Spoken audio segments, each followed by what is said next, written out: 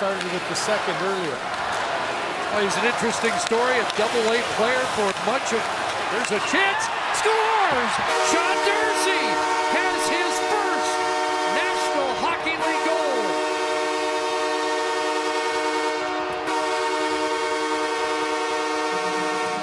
Well, what a moment for this youngster. And again, against his hometown team and getting an opportunity to get called up. This is exactly what Todd McLellan said he's up here for. This kind of ability, there's just a heck of a shot. We saw him earlier get one through that got deflected by Arvidsson, but this had that little extra zip on it.